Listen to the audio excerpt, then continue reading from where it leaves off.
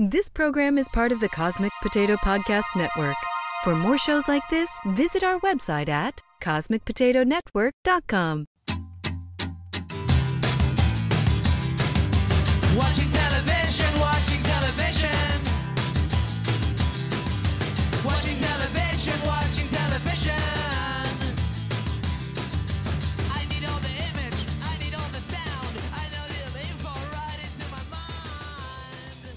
Hey, everybody, welcome back to Trial by Pilot. This is the show where we judge an entire series of television and the work of hundreds on one episode. I'm Bill Lynch. And I'm Elizabeth Lynch. I still got it. it's been a while since we recorded, and that was Yeah. just f- flawless. We are One also of the best intros I've done, I think. Oh yeah, Yeah. for sure. We're also just so everyone knows, six feet apart from each other. Eh, it's like three feet. About whatever. We've been on top of each other in this Um, condo for about a week. Yeah, by the time this comes out, those jokes will be very tired. Oh, LOL social distancing. Um, yeah, this is the first time we're recording since coronavirus and COVID 19 have really become a huge Yeah. issue in the United States. I think the last time we recorded with Casey, we were like, oh, by the time this comes out, it'll be like over. Did we say that really? We did. We were like, oh, it probably won't even be a thing anymore. And we were like, oh, very mistaken. yeah, well, that was about a month ago. Yeah. Um, and yeah, since then, the entire country has basically gone on lockdown, at least this part of the country. Mm-hmm. Um, New Jersey, where we're at, now has the second most cases, right behind New York. Um, and so we've been shut in with our three year old for the last week and will be for the the foreseeable future. yes. so it's been a week, y'all. As I'm sure you all know. yeah, yeah, yeah. Just imagine uh, what your state of mind was like about three weeks ago. Yeah. And yeah, we're with you. Um, so we are finally recording another episode. Have a couple beers opened to take the edge off, and yeah, So we watched this really lighthearted, fun show to get us uh to get our mind off of everything. it's called Baghdad Central. Wow. This will be actually this came out on Hulu about a week ago from the time people are listening to this. It originally aired on Channel 4 over in the UK. And so I saw Hulu had picked it up, so I thought, hey, you know, I could I can find this show online. It's it's an opportunity for us to uh, review something and have it come out not not a month after the pilot. Yeah. We're only about, I think about a week a week behind. So let's get into Baghdad Central. Uh, this takes place in uh, well, at least this the beginning takes place in March 2002 in Baghdad. Oh, I had 2003. I'm probably right. Okay, Well, anyway, what do you want to bet? It's always tricky business betting you something. Anyway, I'll go with your answer. Come on, you're so confident. In 2003, what do you want to bet? Go on. Live on the podcast. I don't want to bet anything. I'm gonna lose.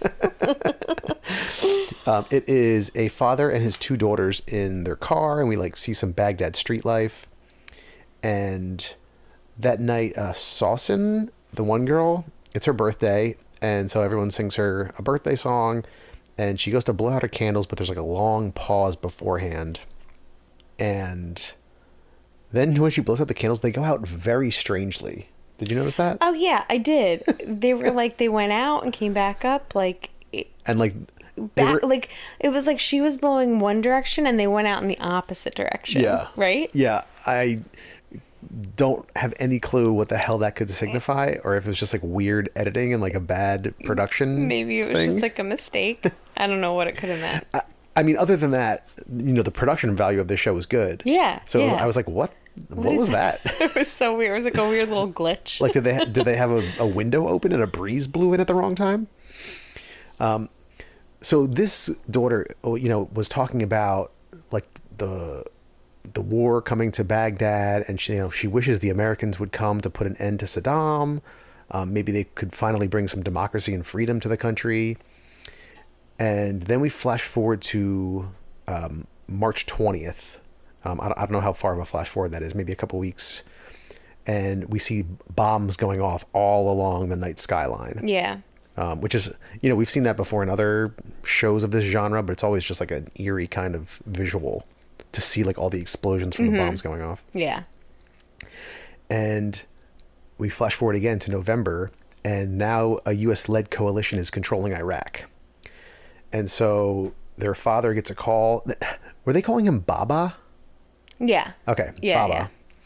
We, we find out his real name later. I think that's just like It's dad. You know, like what they call dad. Yeah, you know? yeah. Um, but some of the subtitles were not accurate. Yeah, whatever it was that we were watching it on, I did notice that. yeah, so I was like, are they saying Baba or Papa? I No, it's Baba. Okay, Yeah. okay. Um, but his name is Musin, and he gets a call that his daughter Sawsan has gone missing from uh, her from his brother's house where she was staying while she was going to university. Also, I apologize if I'm butchering these names because I don't know how to pronounce them. No, I think I think Sawsan was Okay. correct. Yeah. Um, and so her dad goes over there, is searching through a room, and um, finds a badge from like a job that she was working as a translator, working for the U.S. coalition, which apparently is a, a dangerous thing to do to be, to be known yeah, to be so working for them. they thought she was going to school. She apparently was not and was working for this She was like working for the coalition? Yeah, Okay. yeah, translating for them. And her name was Candy. Did you say that? I- didn't. Yeah, so. Oh no, another girl was Candy, I think. No, no, no. Oh, really? oh, yeah, you're right. You're right. Uh, Yeah. Yeah, all, all, all of the Susie. Her says Susie. Okay. So yeah, Sawsan was Susie, and then they find later on we get to another character. yeah, all, all of the Iraqi women that work there, they give you know Americanized Yeah. names for people to call them. Um, I, I did think while this dad was like going through her stuff and talking to his brother and the wife about like finding her and like interviewing people and stuff, I'm like, wow, what is this guy? A fucking detective? Like, Right. and then it's revealed that he is an he is ex-detective. detective. Yeah. which which you know makes sense for the story too. Then we meet up with another translator who you know gets home to her family, and we see like bruises around her neck, choke marks. And then we meet Mr. Kibbard, who is ducking down in a back seat um, while uh, this guy is driving him to the woman's house, who we just saw with the choke marks. Sanaa. Sanaa, yeah. Um, and it's like Sanaa's cousin, I think we find out, is driving him there. And they go into the house, and the cousin immediately attacks this guy from behind and, you know, yelling at him, like, tell me the names of the men who attacked my cousin, or I swear I'll kill you. And then immediately we, we um, see there's like all these U.S. roadblocks set up. They're all searching for this guy, Kibbert. Uh, as Musin gets to the college where his daughter was going to talk to one of her uh, daughter's professors, Rashid, um, who is not helpful at all. right. and basically just says like you know women in today's iraq have a habit of disappearing so she doesn't give him any information Yeah. whatsoever i don't know if it's implied that she knows more or if she I think she does. That's. I think she does, too. That's the impression that I got. yeah That she knew exactly what he was talking about, and she was basically like, "Shut up! I'm not talking to you about this." right right the father goes back to talk to his other daughter who was close with the daughter that went missing With Sawsan. yes I didn't And catch her name. Did you? I, I didn't either Okay. i was just like scanning my notes I, I don't i don't see it here okay. Also, we watched this about a week ago before all of the COVID stuff like really went down. So it's been a whirlwind and this is not the most doing- fresh show in my mind. I think we're doing pretty well considering it- it's been a while since Yeah, we yeah. watched this. So his other daughter says, you know, oh yeah, the last time I spoke with her, she mentioned Candy and Laura. And w- and we know at this point that Candy is Sanaa. And then soldiers barge into the house that night and say, "We've acquired the three of diamonds," like as a code word, uh, talking about Musin. And they bring him to a holding center because they think he is secret Iraqi militia. And so the United States captain there requests um, some files from this British guy, Frank Temple, uh, who is training former Iraqi police and enlisting them for work with the U.S. led coalition. and that's like interspersed th- these guys talking with Musin being tortured and questioned. And finally, he is brought back to Frank Temple, and Temple says like, "Oh, you've been cleared. We we know you're not the Three of Diamonds, um, but we want your help anyway. Um, we we need men of integrity like you to help uh, to help run this country and be the future of Iraq after Saddam's gone." We then find out that Musin's son was executed as a dissident, and his wife died of cancer. So that's why it's just him and the two daughters. So he gets home, and the professor is there with um oh the other daughter's name is Mrouj Yes. M R O U J Yes, that's right. I just saw that in my notes too. I think that might have been the first time they mentioned it, like towards the end of the show. yeah then we go back to the family with Kibbert and he is out in the courtyard kind of gagged and tied up and the family is talking about how he only gave them one name like he's saying he doesn't know who attacked Sanaa um, but the cousin says like you know we should kill him anyway and get rid of the body and Sanaa Sanaa keeps saying like no no no it's this is my shame to bear and later on in that, that day she goes outside takes the gag out of Kibbert's mouth and like they must have been sleeping together that, Yeah. that- that's the implication mm-hmm. but then she pulls out a gun shoots him in the head and as her mom is coming outside shoots herself in the neck and kills herself Yeah, it was a pretty brutal scene. Oh, yeah, it was really It was up. really terrible. Yeah. And then the pilot ends with Musin and Mar- Mrouj. Yeah. With Musin and Mrouj arriving at the I get I don't know if it was the U.S. embassy. They were calling it the Republican Palace. Yeah. But it was like the base of operations for this U.S. led coalition there. And so he was going in back in to meet with Frank Temple and I guess secretly work for the U.S. And somehow that will get tied into them helping him find his daughter. I'm guessing. Right. Right. And that was the pilot to Baghdad Central. Yeah. Like we said, real light. Yeah. Um, yeah. What'd you think? Um, I thought that it was really good. Yeah. Um, I, um, like you said, it's like not super fresh in our minds now because we didn't record like right away. Yeah. But I was really interested in the story. Like I found myself like really, you know, paying really close attention and I really enjoyed it. It wasn't it wasn't like an easy subject matter. I mean, I don't remember exactly all of the stuff that they're talking about, but I assume that it's like pretty probably accurate. Um, I'm sure the story is fictionalized, but like Right. the events, you know, leading up to it, Right. I thought it was good. Yeah, it's well, f- f- just on a base level, I thought it was well done. Other Yeah. than that weird candle thing, you know, Right. production, production value was good, uh, the acting was good, writing, it was certainly intriguing, and it was certainly like visceral and really fucked up at parts. Yeah. It was intense. There were definitely some intense moments and Yeah, definitely intense. Even when when the soldiers come in to his apartment, Mm-hmm. like thinking that he's like a secret um, militia member, that was intense too. Was Mrouj was she like sick in some way? Yes, Well- she needed a dialysis machine. I think they yeah, said, that's right. Yeah.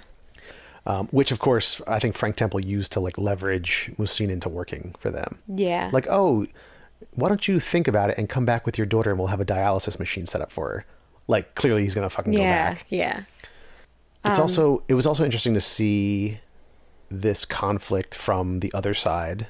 Right, exactly. I think that's kind of the point I was trying to make before, like that we Yeah. remember it from our perspective. Right. And you know, this was back in the early 2000s. I was an undergrad in college. Right. I don't I didn't really pay attention. Like like I know the broad strokes of what happened. Right, exactly. But I, I didn't pay attention to the details. I never really got into learning about it. So to see it now from an Iraqi perspective is interesting. From n- someone who's like like our age at the time. Right, yeah. You know? Who was our age at the time. Yeah, exactly. And from the perspective of, you know, yeah, Saddam is a fucking terrible dictator. Right. So some people there did want us over there, maybe not knowing what our role was going to be or how, Right. how we were going to carry things out. Right. Yeah. So it, it's cool to see that, that dynamic too. Yeah, I think this is only six episodes, maybe. So I had kind of, I mean, you know, like I said, it's been the maybe the longest week of our of our lives. Right. so I had kind of forgotten about it, and I wasn't sure if we would continue to watch. Um, but now talking about it again, I was like, oh yeah, I really did enjoy that. I was intrigued by it. yeah. So I mean, I I also really enjoyed it and I think that I would recommend it maybe in another time. Like right now, I feel like maybe it's too heavy for me to watch something like this because I want like all I want like escapism right now. Right, And like the current sure. climate like that's what I'm thinking. Um but like you don't want anything heavy because this is, this isn't really It's not related. It has nothing to do with the pandemic. Right. Um, it's just not. It's not light at all. no, it's not. We already lived through that like Twenty years ago. bad time in history. We're going through another bad time in history. It's just like Right. I don't know. But I like it. So I think that like in another like when I'm in another state of mind, I would absolutely watch this and recommend it. Okay. because I think it's good and certainly intriguing. Story kept me super interested. Acting, production, all of that was great. So Yeah. there's nothing wrong with this show. It's just my state of mind right now. I want to watch like Schitt's Creek and my God, you keep bringing up Schitt's Creek.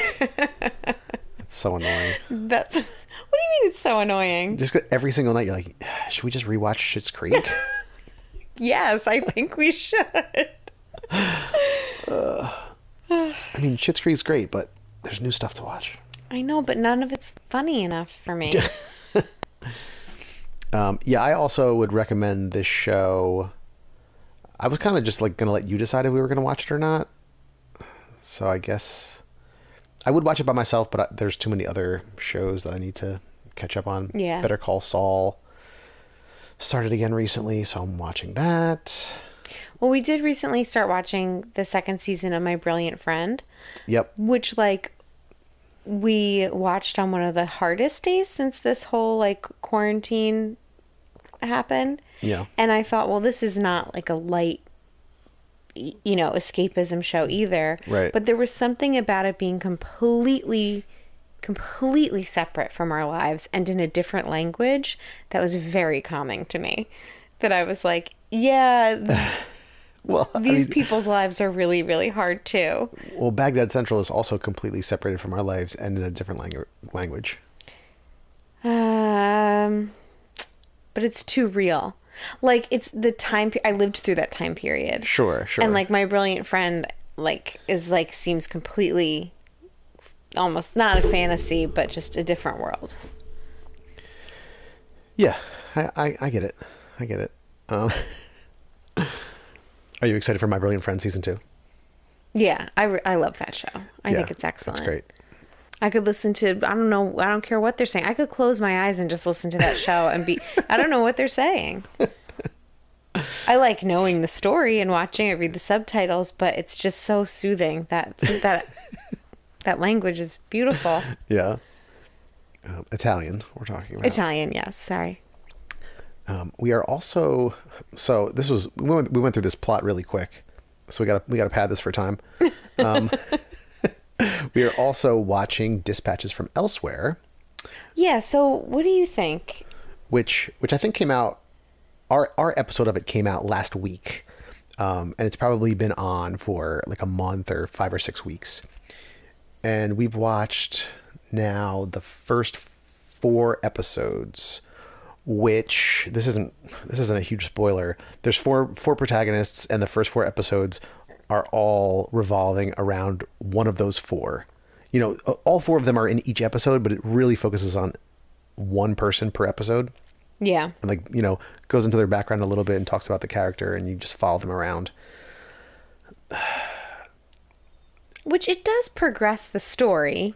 You're A getting their perspective perspective, but not all from the same exact point. right You know, it is going forward. oh yes yes yeah the time is moving forward as this is happening but in terms of like the intriguing part of the story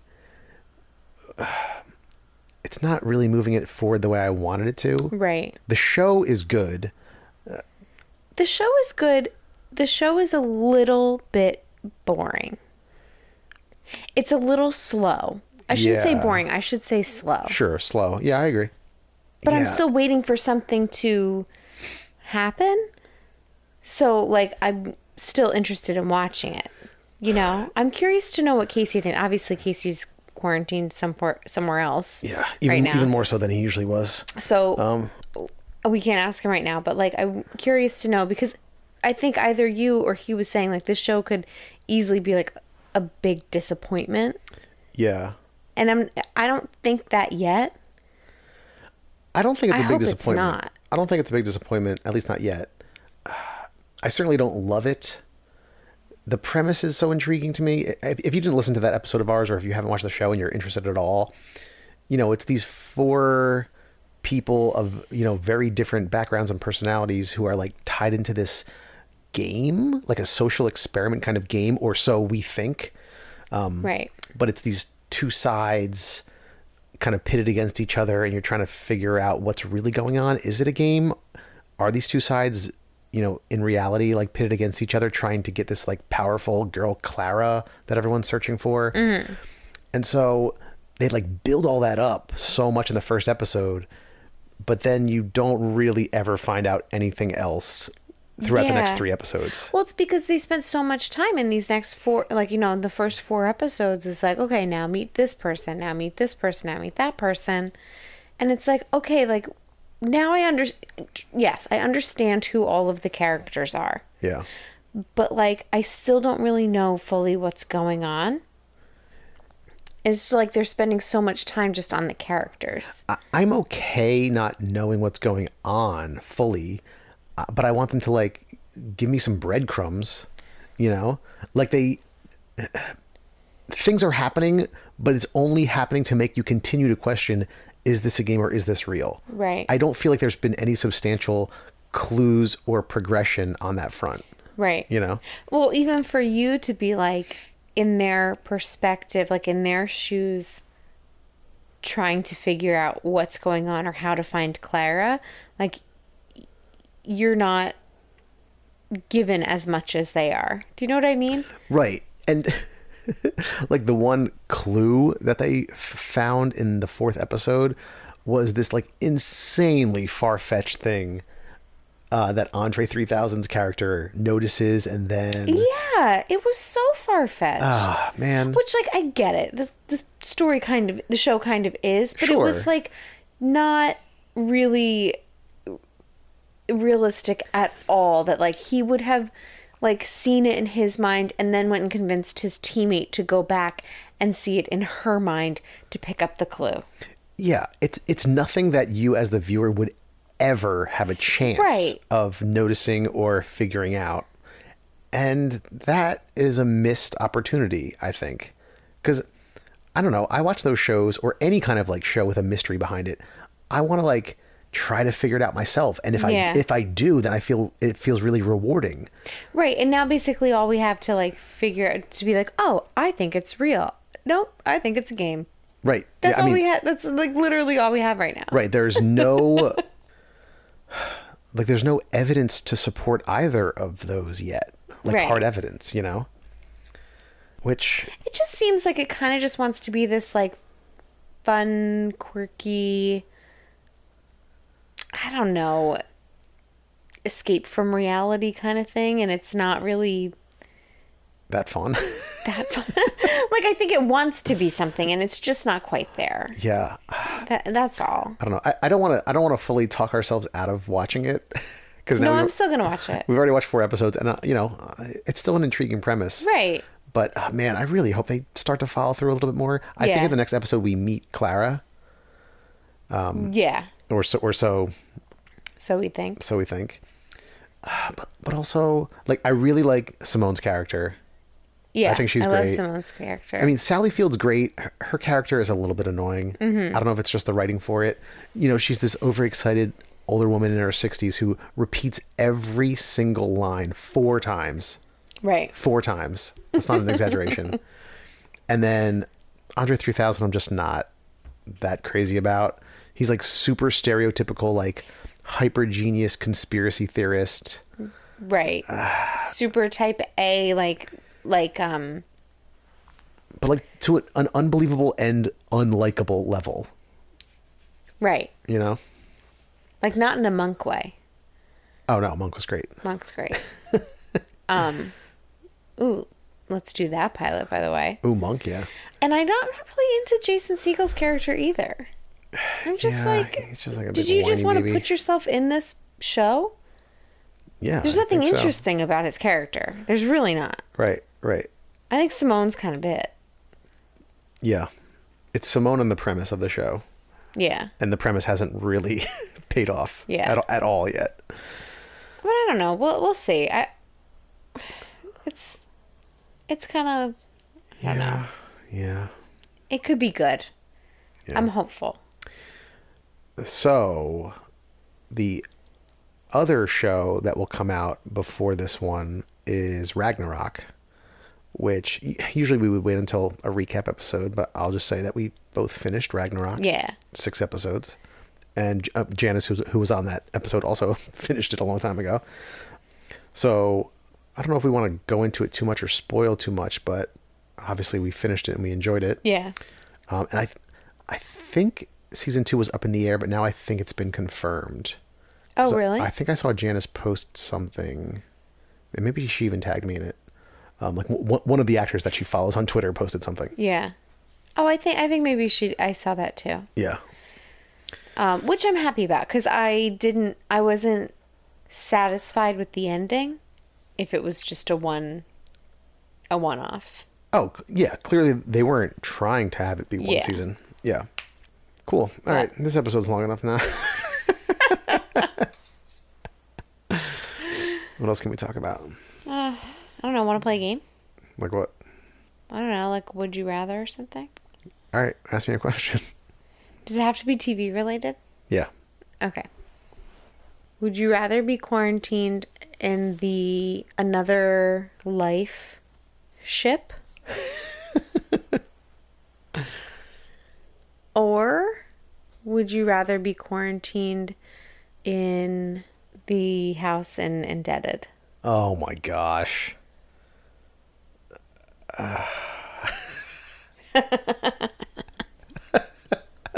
I was so ready to say the second thing no matter what because another life was so terrible, but so was indebted. Yeah. Oh my gosh. You got to be with all those people and all those characters are there. It's not like, oh, you just get the space, like, oh, this is a cooler place to be in. You're stuck, you're with all of those people. I guess still indebted because the whole premise of being on the another life ship was they were stuck on that ship for like months or years by themselves. Yeah. So I'll choose the indebted house. What about you? Oh, I'd absolutely choose the indebted house. I hated that ship. You know, I hate ships, spaceships. So cold. hate spaceships. At least I could go outside and indebted. Just a bunch of steel. I could go in their yard. I could close my bedroom door. Yeah, that's true. Okay, it was an easy decision. Yeah. Yeah. All right, you ask me one now. But yours was good, and it was like based on current events. If you, oh no, that's not what we're playing. Would you rather? All right. If if society collapses, Okay. keeping it light. Would you rather only be able to watch CBS All Access, or nothing? Nothing I can say would make you not pick. would you rather watch CBS and CBS All Access? So you have both of those options. Okay. It'll really just open it up. Or the CW. Hmm. Do I have the entire catalog of like both networks? No, it's just whatever's on TV. Whatever's on TV right now? Yeah. I don't know a lot of CW stuff right now. Yeah, and you know that CBS has um, Young Sheldon. But CBS All All Access, as much as I hate it, has the Good Fight, Oh, which is true. the um, you know follow up to the Good Wife, which I loved, um, and I just never watched it because it's on goddamn CBS All Access. but CBS also has Sunday Morning, which I love. True. Oh wow. So I guess you're going with CBS. Well, I don't know. I I mean, yeah, maybe. I mean, what's on CW? CW has In the dark. Crazy Ex Girlfriend, which is really good. Okay. I don't know if it's currently on there, but other than that, I really don't know anything else that's on it. Yeah. I don't know. Maybe CBS. I think there's more. CBS is like has a lot more stuff. Even though a lot of the Sure. shows are stupid, there's just like way more to choose from. Yeah, yeah, that's probably right. Current events I could get. Yeah, what's even on CW when like prime time isn't happening? Don't know. Do Uh, maybe it's like reruns of stuff. Yeah, they have. They probably have like some news thing. I don't know. All right. Wow. Fascinating. Fascinating Okay, finish great, to this great episode. stuff. Yeah, I guess we're gonna go and watch Dispatches from Elsewhere, even though we just said how disappointed it was, how disappointed we are in Well, it. now that we're not focusing on the characters, now maybe we can finally pick up and we'll go somewhere with it. Yeah. That's why I keep sticking it out. Yeah. Same. I just think that the that their explanation of all the characters has not been super duper interesting. Right. Especially since his opening the opening to the entire series was his saying him saying, I'm going to spare you 20 minutes of like getting to know this person and I'm just going to tell you about them. Right. But now we've spent an entire episode, Four episodes. yeah, on each person. Uh, yeah. I mean, not entirely just on that person. It's just like happens to be from that person's perspective mainly. Right, right. It's not like, but it's it feels like it's been a little bit of a waste of time. Yeah. Anyway, Anyway, on we go. All right, everybody. If you have suggestions on shows for us to watch, you can email us at trialbypilot at gmail.com. You can find us on Facebook, Instagram, and Twitter at Trial by Pilot. And go on to Apple Podcast, Stitcher, Spotify, wherever you're listening to this. Subscribe to the show, leave a review, and tell a friend. Uh, and thank you to the Beats for providing our theme music. Thanks, Beats. Bye. Bye. Watching television, watching television. Watching television,